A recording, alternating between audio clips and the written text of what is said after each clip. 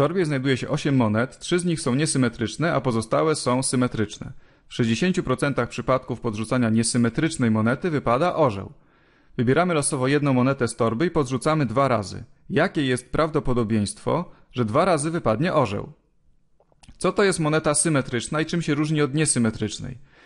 No, symetryczna moneta to jest taka, inaczej mówiąc, uczciwa moneta, w której orzeł i reszka wypadają z takim samym prawdopodobieństwem równym 50%. Natomiast niesymetryczna moneta to jest taka trochę oszukana, w której jedna strona wypada trochę częściej. No i tutaj mamy podane, że w 60% przypadków, jak podrzucamy tą niesymetryczną monetę, to wypadnie orzeł.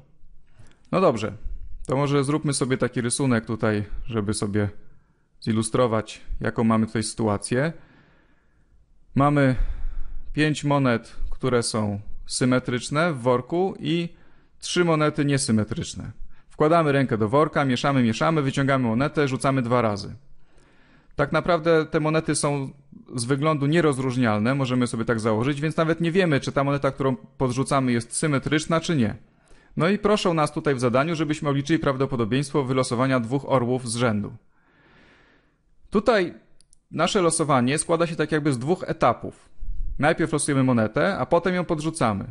Wygodnie jest w takiej sytuacji zrobić coś takiego, co nazywa się drzewkiem prawdopodobieństw, yy, żeby przeanalizować wszystkie możliwe historie, jak tutaj się to wszystko rozdziela. Więc w pierwszym losowaniu rozdziela nam się nasza historia na, na, dwa, na dwie gałęzie. Czyli mamy tak, albo wylosujemy monetę symetryczną, symetryczną, no albo wylosujemy monetę niesymetryczną. Mamy takie dwie możliwości, które się wzajemnie wykluczają. No i jakie jest prawdopodobieństwo, że wylosujemy symetryczną? No z ośmiu monet losujemy jedną, a, a tych symetrycznych jest pięć, czyli prawdopodobieństwo na to, szansa na to, że wylosujemy symetryczną jest pięć ósmych. Natomiast szansa na to, że wylosujemy niesymetryczną jest trzy ósme. No dobrze, no to teraz skupmy się na jednym z tych przypadków. Powiedzmy, że chcę zająć się teraz już tylko tą sytuacją, kiedy wiem, że wylosowałem symetryczną monetę. To jakie jest wtedy prawdopodobieństwo tego, że wylosuję orła w pierwszej próbie i orła w drugiej próbie, pod warunkiem, że wylosowałem monetę symetryczną, że podrzucam monetę symetryczną. No, może tu w skrócie napiszę sym, czyli symetryczną. To jakie jest to prawdopodobieństwo? No to już umiemy liczyć z poprzednich filmów, no bo wiemy, że te kolejne rzuty są od siebie niezależne, czyli trzeba po prostu pomnożyć prawdopodobieństwo tego, że wypadnie orzeł w pierwszej próbie, a to jest 50%, czyli 5 dziesiątych, Mogę napisać tak, jak ktoś lubi 0,50, żeby wiadomo, że to jest 50%, razy 50% szans na to, że w drugiej próbie wypadnie orzeł, czyli dostajemy 0,25, czyli 25% szans na to, że wypadnie orzeł pod warunkiem, że wylosowaliśmy z worka monetę symetryczną. A teraz obliczmy sobie, jakie jest prawdopodobieństwo tego, że zajdzie cały ten ciąg zdarzeń tutaj opisany tą gałęzią naszej historii. Czyli jakie jest prawdopodobieństwo, że wszystkie te zdarzenia po kolei tutaj zajdą. Czyli po pierwsze, że wylosujemy monetę symetryczną i że dwa razy wypadnie orzeł. Jaka jest na to szansa? No trzeba te prawdopodobieństwa pomnożyć. Trzeba pomnożyć 5 ósmych szansa na to, że wylosujemy symetryczną monetę jest 5 ósmych, no potem musimy to pomnożyć przez prawdopodobieństwo tego, że jak podrzucimy dwa razy, to wypadnie dwa razy orzeł. Więc ostatecznie prawdopodobieństwo na to, że zajdzie to zdarzenie i to zdarzenie jest równe, to możemy sobie obliczyć na kalkulatorze, że to będzie 5 podzielić na 8 razy 0,25. No i to jest 0,15625. 0,15625. Tyle wynosi to prawdopodobieństwo. No teraz zajmiemy się tym, tym drugim przypadkiem, czyli kiedy mamy monetę niesymetryczną i tę monetę niesymetryczną podrzucamy. No to jakie jest prawdopodobieństwo tego, że wypadnie orzeł dwa razy pod warunkiem, że moneta, którą wylosowaliśmy z worka była niesymetryczna? Niesymetryczna. znowu to w skrócie napiszę, że była niesymetryczna. No to tym razem, jak rzucamy ją pierwszy raz, no to mamy 60% szans na to, że wypadnie orzeł. Mnożymy to przez 60% szans na to, że wypadnie orzeł w drugim rzucie, czyli mamy 0,36. Takie jest prawdopodobieństwo tego, że wypadnie orzeł dwa razy, jeżeli wiemy, że wzięliśmy niesymetryczną monetę z worka.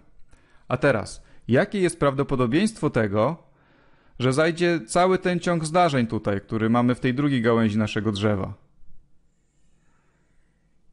Czyli jakie jest prawdopodobieństwo tego, że wyciągniemy najpierw monetę niesymetryczną, nie, że wyciągniemy niesymetryczną monetę i że dwa razy wypadnie orzeł. W pierwszej i w drugiej próbie wypadnie orzeł. No to znowu trzeba pomnożyć. Najpierw szansa na to, że wyciągniemy monetę niesymetryczną jest 3 ósme. 3 ósme razy prawdopodobieństwo tego,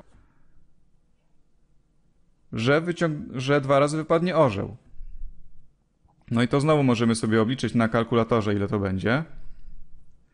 No to jest 3 podzielić na 8 razy 0,36 0,135. Czyli to jest równe 0,135. Sprawdźmy jeszcze raz, czy się zgadza. Tak. No dobrze. A jakie jest teraz prawdopodobieństwo, to o które pytają nas w zadaniu? Jak na razie obliczyliśmy dwa oddzielne prawdopodobieństwa. Prawdopodobieństwo tego zdarzenia, które mówi, że wyciągnęliśmy monetę symetryczną i dwa razy wypadł orzeł, i prawdopodobieństwo takiego zdarzenia, że wyciągnęliśmy monetę niesymetryczną i dwa razy wypadł orzeł.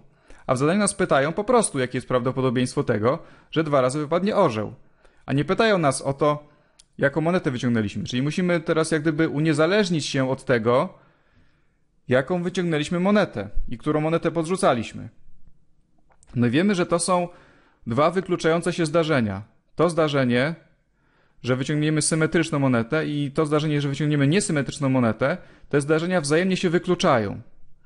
Więc prawdopodobieństwo zajścia jednego lub drugiego będzie po prostu sumą tych dwóch prawdopodobieństw. Czyli prawdopodobieństwo tego, że wyciągniemy jakąkolwiek monetę i dwa razy wypadnie orzeł, będzie po prostu sumą tych dwóch prawdopodobieństw. Czyli to będzie suma tego prawdopodobieństwa, które wyszło równe 0,15625, dodać prawdopodobieństwa tego drugiego 0,135.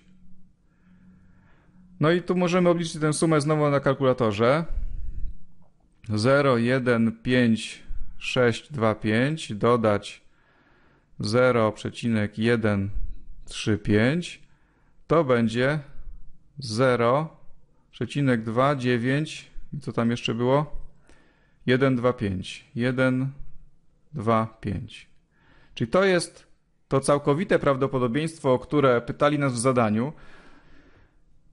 Nawet ten wzór taki, że się sumuje te prawdopodobieństwa warunkowe, to on ma taką nazwę, że to jest wzór na prawdopodobieństwo całkowite. Zauważcie, że gdyby wszystkie monety w worku były uczciwe, to prawdopodobieństwo tego, że dwa razy wypadnie orzeł, byłoby po prostu równe 25%. Ponieważ niektóre monety w worku są jednak niesymetryczne, to szansa na to, że w dwa razy wypadnie orzeł jest troszkę większa. I równa 29,125%, jak ktoś lubi procenty.